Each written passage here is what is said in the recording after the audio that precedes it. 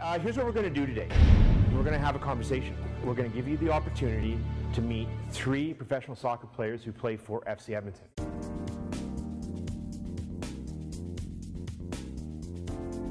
The first person I want to introduce is uh, 28 years old from Huntington Station, New York, Karsten Smith. Give him a hand, you can clap. So Huntington Station, whereabouts is that? It's uh, Long Island, New York. City that has about 200,000 people. Uh, it's about 45 minutes east of New York City. So when I was growing up, I'd commute from Huntington all the way to Queens to play club soccer.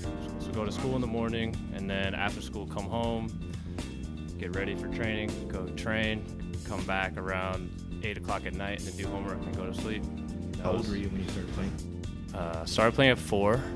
Uh, started playing travel soccer at 10. And then I started, I joined that team in, in the city around 13 years old. Was there, what point in time did you realize you, you wanted to play soccer as a career? I mean, as a kid, when I was your guys' age, I dreamed about it. When I was watching uh, Arsenal and Manchester United on TV, and but it didn't really become a reality until I graduated college, and I didn't know what the next step was. And I was like, you know what, I'm going to pursue what I've been doing my whole life, and I went for it. And fortunately, a couple coaches had some interest, and I signed a contract. Do you remember when you stepped on the field for the first time in, in college soccer? Yep.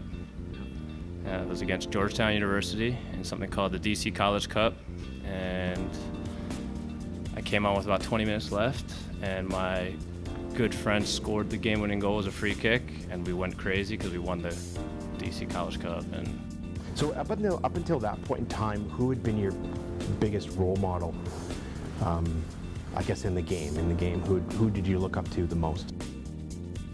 my favorite player growing up was the original Ronaldo, so I loved him.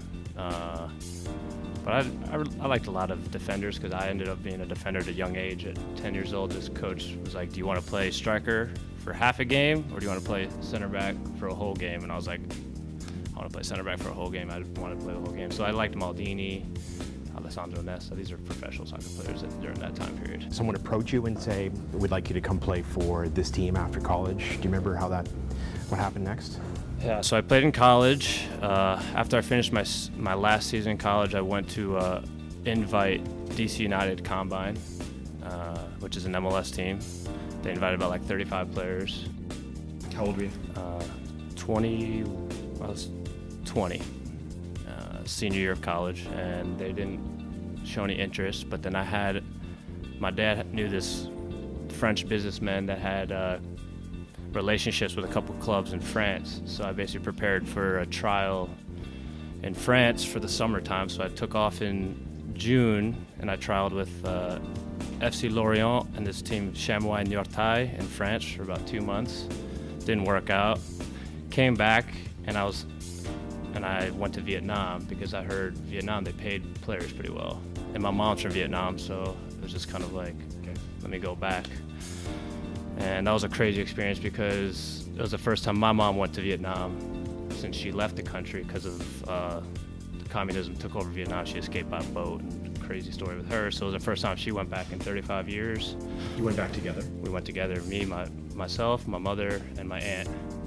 And in addition, so it was, for me, it was I was going there for soccer, but I was experiencing my mom's my, and my dad actually grew up there too. So I was seeing the country that my parents came from, and then but then I had the whole soccer thing, trying out for a team in Vietnam as an American, which was a crazy. This was a whole family experience going back. Yeah, it was a family experience. It was more than just soccer. So that's what soccer provided for me is these life opportunities. Going to Vietnam, I would never went to Vietnam if I didn't uh, try to play soccer professionally. So you got there. What happened?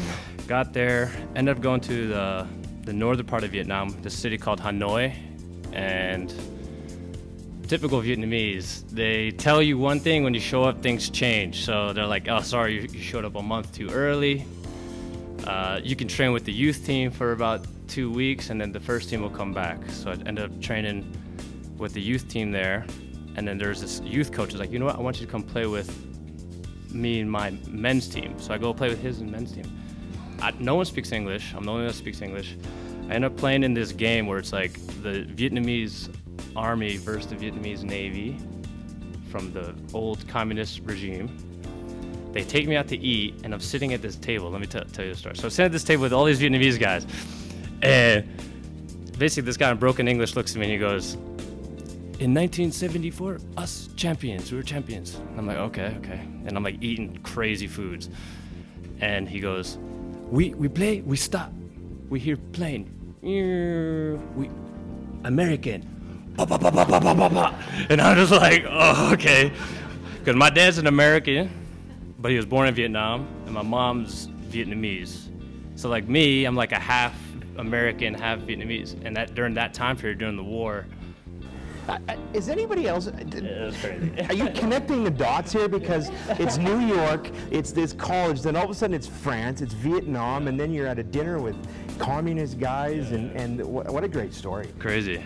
Long story short, they wanted me to become a Vietnamese citizen because I would have been cheaper. But my mom escaped that country, and you can't have dual citizenship between Vietnam and the U.S. because it's communist. So, yeah, yeah. I remember when I was in France, it was the most difficult because I was this. I had a lot of confidence. I played at a good university. I had 70 games. You know, when you're that age, you're not really aware of the of what's out there.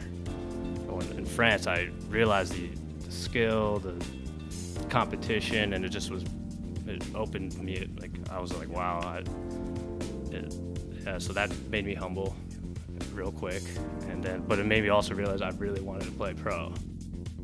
What we're going to do now is introduce uh, 24-year-old 24-year-old player who came to FC Edmonton uh, this year. And ladies and gentlemen, Mauro Esquaccio. Did I get it? Did you get it right? I was I thought I was going to butcher his last name, but uh, Esquaccio, right? Uh, No. no? What is it? Estácio. So yes, I was born in a small fisherman town called Nazaré in uh, in Portugal. And after after a year, my mom asked my dad, like, listen, uh, things aren't going well for us right now. You want to you know try to immigrate to, to Canada? How old were you? Uh, I was one. I was one. So my dad's like, yeah, why not? So we moved to Canada. See, coming from a Portuguese um, blooded uh, family, soccer is like a religion. So you know, there's there's friendships that are determined from soccer. There's just arguments that happen because of soccer. It's just how it is. So I had you know at a young age a very very big passion for the sport, and uh, my dad had a has a president a cousin that's a president at a club, and he's like, you know what? Send him over. We'll give him a look, and we'll see what happens. So yeah, I, I went there. They liked me. Everything really went well and I was bugging my mom. I was like, I want to leave Canada. I want to leave Canada. I want to go. I want to go play soccer in Portugal because obviously soccer in Portugal is like it's like a religion. Everybody like hockey is in Canada, soccer in Portugal is something else. So um, yeah, I I begged my mom so much that she was like, all right, you go. But at the same time, she was like kind of heartbroken. So she was like, you know what, you're 11 years old. I'm not gonna see you grow up. Let's all just move back. So the whole family. So the whole family moved back to Portugal.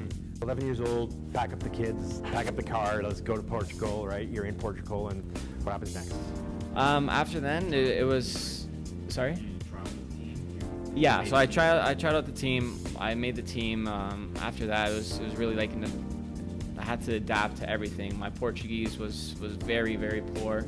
Um, obviously, the lifestyle, you, the the food you eat, everything, the routines you have, going not into soccer and learning, you know, the soccer terms in Portuguese, but obviously going to school and learning the language from scratch. It was also very very hard for me. Um, but you know, I had the support of you know my cousins, uh, my parents, and I, I made I made a very very good group of friends uh, at an early stage of my life then, and which I still am very close with now. So that kind of really really helped out everything. And, and like I said, like soccer is it's a religion there. So once you know how to play soccer, once you respect the sport, everything just becomes easier because everybody's just willing to help you. So I, I have a question. So you were you're a Canadian citizen, and so you move back, and then there's there's from 11 to say 19, you're playing, and then you end up on the Canadian U20 national team. Yes. So how did- how did that happen? So at, from 11 to I'd say 17, I was uh, at the team called uh, Nazarinj, uh, which is somewhat of a local team. They play in a good uh, at a good level. But at the age of 17, I got scouted and went to de Leiria, which at that time was a first division team. They had, you know, they were uh, for soccer-minded people. The coach Jose Mourinho, that's where he started his uh, his professional coaching career. So it, it was a pretty big club at that time. I got scouted and went to their junior their junior team.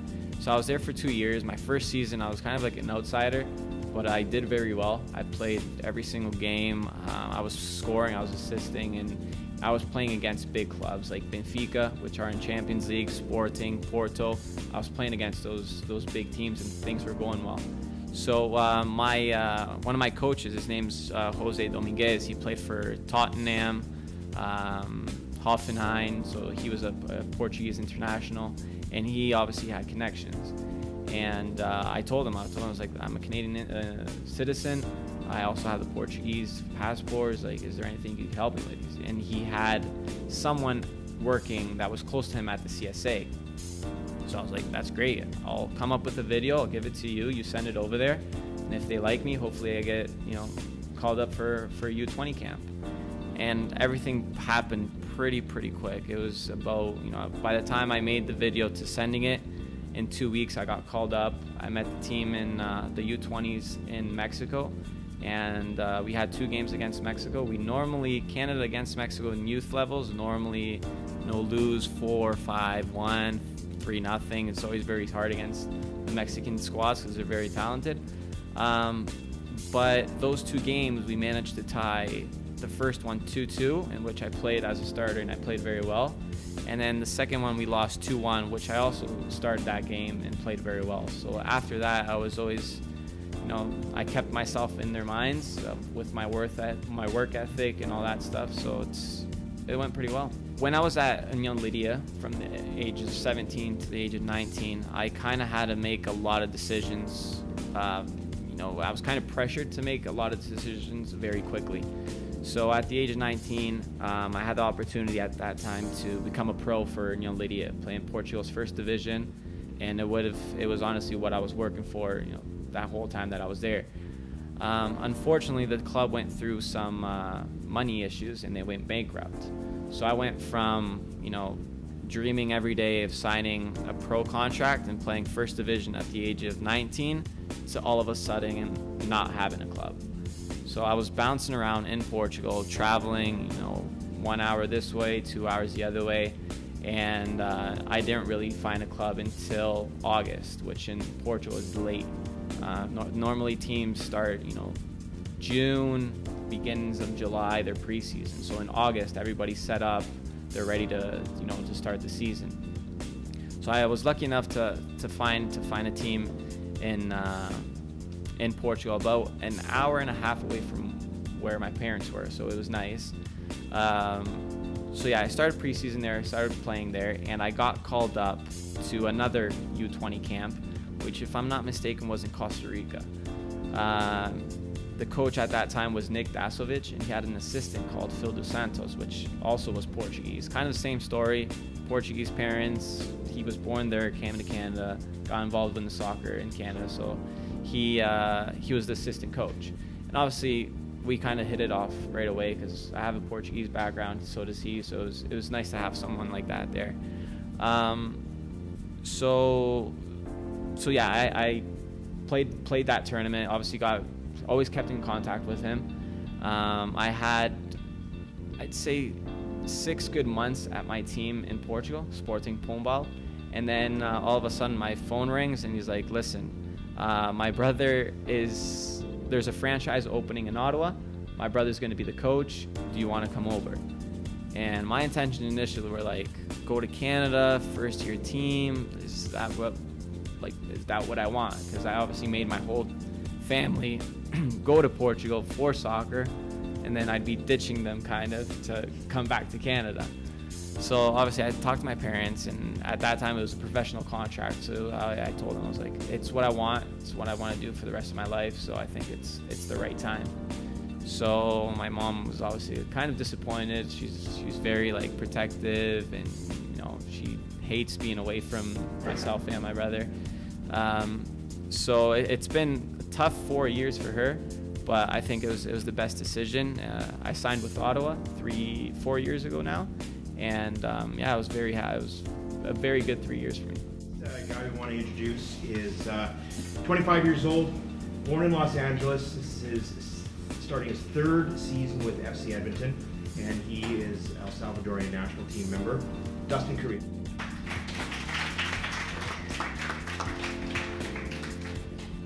Another journey here. So LA, Portland, El Salvador, somehow you end up at FC Edmonton and there's a whole bunch of stuff in between. So so is your family originally from El Salvador and how what, how did they all get to LA or how did that happen? My dad is from El Salvador. My mom is from Nicaragua. Uh, and they moved, my dad moved in 84 to Los Angeles uh, from El Salvador there was a civil war going on. So him and his three brothers left to Los Angeles to start a better life. Uh, my mom moved three years later, uh, and luckily they lived in the same building. And uh, at 90, at the year 92, I was I was born. So they just came together out of nowhere. But that's what it is. That, a lot of that is in uh, California. It's a lot of different ethnicities, El Salvadorian, Honduran, uh, Guatemalan, Nicaraguan. It's very diverse, so uh, it's a little bit of everything. It's almost as saying that you're in Central America when you hear Los Angeles.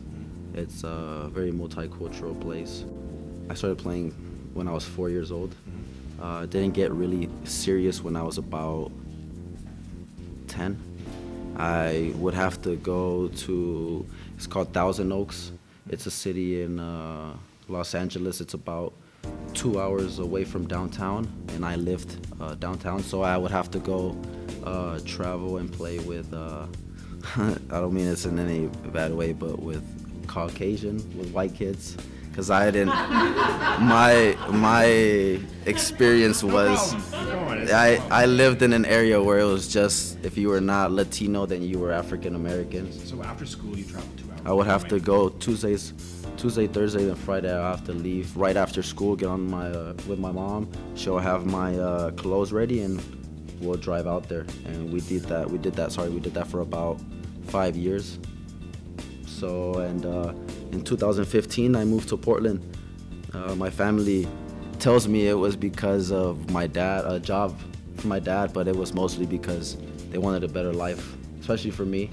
I was heading down a a not so uh, good path. Mm-hmm. Uh, it's very common in uh, Los Angeles with gangs and uh, things of that nature. And I lived in a very, very dangerous uh, neighborhood, South Central LA, which is known for its its gangs and its shootings and stuff like that. So they wanted a better life for me and my sister. So uh, how did you get yourself into the soccer culture in, in that in the Portland, Oregon area? Uh, my my I was fortunate enough that my dad's brother had uh, already moved down there, so his son, uh, my cousin, was already playing in a club soccer team out there, and so he said, "Hey, Dustin, there's a club team here that you can play for." Uh, the, I think he was he was 17 at the time, and he said it's a U15 team, and give it a shot. So I went on, I went into the tryouts. They asked me, "Are you good enough?" And I'm not gonna say, yeah, I'm, I'm good. I just said, I just want an opportunity to see if I can make the team. If not, then no, uh, no worries. So I went in, practiced, and then after that, not even an hour, and they said where I could, if I could already play with them uh, for the weekend. And yeah, after that, it just took off. I did ODP, which is uh, Oregon. Uh, yes, it's it's ODP is for where the best players in the states. I think Karsten had ODP also. The best players in the state come together. Then they play against region a regional team, which is the best teams in like the West Coast, uh, which is California, Las Vegas. They get the best players from them from that uh, region, put them together, and play other regions. And I played in that. Then I joined the national team, the U.S. national team. Uh, I was when I my first national team camp, I was about 15. Uh, that helped me though with college. I didn't go to college, but that helped me in the in the fact that I got opportunities from very, very big time schools offering me full rides to go to college to come attend Uh, they were gonna pay everything, so oh, uh, the national team helped me a lot. And then at 17, I moved to Florida to play with the national team, the under 17. By yourself. I moved by myself, yeah. Uh, it was a big academy called IMG, which holds about the best athletes in the world. Uh, Maria Sharapova goes there, Serena Williams goes there, and the U.S. soccer team had their own section, their own area. Uh, we lived there. We woke up around eight, go to practice, come back around 11, uh, grab lunch, go to school. Uh, so while everybody was at school, we were at practice. Then they had afternoon classes for us because we weren't able to attend the morning ones. So yeah, I mean, I did that for two years. I did the U17 national team uh, qualifiers in Mexico. Uh, after that, I came home, finished my senior year in Portland in my high school. Did you know played soccer there, and after that, uh, like I said, the emails or letters continued about going to college, but my mind was pretty made up about about what I wanted to do. So how did you make the leap to, how did it happen that you ended up on the El Salvadorian national team? Um, so my dad is Sal- Salvadorian, and they, the El Salvador Federation, already had an idea of who I was, because uh, I'm a Salvadorian, and they see a potential if maybe U.S. doesn't want him, then you can come play for the El Salvador national team. So they emailed me. I went down. I practiced with them. Uh, after that, I did a U20 camp for the national team El Salvador. Uh, played in the qualifiers for El Salvador. Uh, Appearances with the national team, is that right? Yeah. And you also played in Aztec Stadium. yeah. How many people, that was, was that the Gold Cup? Uh, no, when I played in the Aztecs and the Azteca was when I, we played for the qualifiers for the actual men's World Cup qualifiers. Yeah. S- So how many people were there? It was like About 80,000? 65, 65,000? 75,000. Do you remember being in the tunnel, getting ready to come out? I remember, I remember getting to the stadium and not hearing anything because we have to be there about uh, 90 minutes before the game. It's just a rule.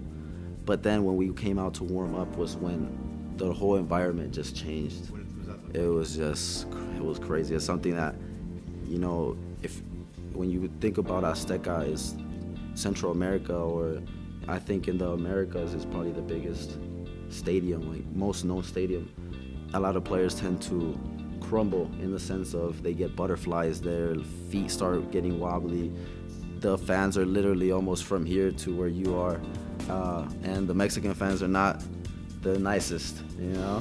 Um, but that experience is, is one of a kind. It's one that I will cherish for the rest of my life because I have a lot of Mexican friends that saw the game, uh, that were obviously rooting for Mexico, but they said, man, at the end of the day, it's, it's crazy to have a friend that I grew up with in high school and middle school, and now seeing him play in the Azteca, you know, is, is incredible. And so the atmosphere was amazing. Uh, if you're able to play in front of 65,000 people, 75,000 people, I don't think that 10, 15 should, should scare you or forget a moment like that.